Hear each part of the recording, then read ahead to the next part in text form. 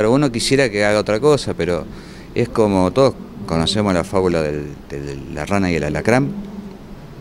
¿La conoces? Bueno, en una orilla del lago estaba la rana con el alacrán y no podían este, cruzar. Entonces la rana le dice al alacrán, subite que te llevo. Entonces cuando iban cruzando el lago, el alacrán la pica a la rana, y la rana muriéndose y ahogándose, ahogaban a los dos. Le pregunta, ¿por qué me picaste? Porque está en mi naturaleza. Entonces, lo que está haciendo Macri está en su naturaleza. Eh, uno que, la verdad que uno que le podría pedir, que escuche a la gente, que, que vea que el país se está quebrando, que vea que los productores de leche no están pudiendo vender, que vea la realidad. Ahora, pedirle cambio es imposible porque además tiene los enormes compromisos políticos y económicos con los grupos de poder.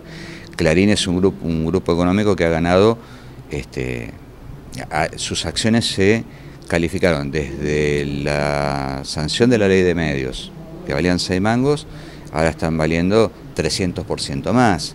Y cada medida del gobierno, digamos, aparte de Clarín, uno no se ensaña con Clarín diario, sino con el grupo Clarín, que es una empresa monopólica que entre otras cosas vende noticias. Este, está tomando digamos, todos los, los, resortes de los negocios que se generan del Estado y por supuesto esto le brinda una cobertura mediática que hace que la gente todavía no se entere. Hay muy pocos canales que lo están planteando. Este, y que todavía sigamos hablando de López y las valijas y no hablamos del correo y los 70 mil millones de pesos que se querían condonar y estamos hablando de, este, no sé, del caso de la AMIA o de Nisman y no estamos hablando de los temas que realmente todos los días eh, eh, vamos viendo que el tema de la aduana, el tema de este, el primo pobre Calcaterra, del Panama Paper, digamos. Esto eh, no puede ir una cosa sin la otra. Entonces, este es el modelo neoliberal. Si usted, si uno hace una, una mirada hacia atrás, en los 90 pasó lo mismo. Era el mismo modelo entonces pasaban las mismas cosas, hasta en aquella época, y lo digo con dolor como peronista, Menem reglamentó el derecho de huelga un 17 de octubre, que es una fecha muy sentida para el peronismo. Entonces mientras discutíamos que eso estaba mal, se privatizaban y se vendían las joyas de la abuela. Este es el modelo.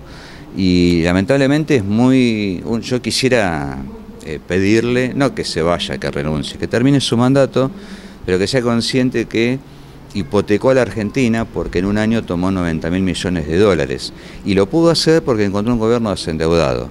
Y lo que va a hacer es dejarle al que venga en el 2019, que seguramente será de otro color político, un país que va a estar hasta las manos, como Grecia, auditado por el Fondo Monetario Internacional, ya no desde Davos o desde Europa, sino sentaditos en el Ministerio de Economía.